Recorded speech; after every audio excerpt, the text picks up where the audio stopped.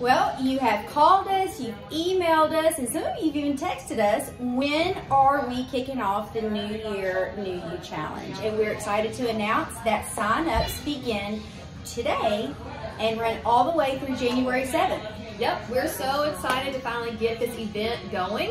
Um, we've got a few changes this year though. Instead of doing teams of three to five, we decided to do two. And that way you can just take your bestie and go work out, right? That my best friend, she a real bad got her own money. She don't need no on the dance floor. She had two, three drinks, now she twerking. She throw it out and come back in. That's my best friend, she a real bad drive her own car. She don't need no lift in a strip club.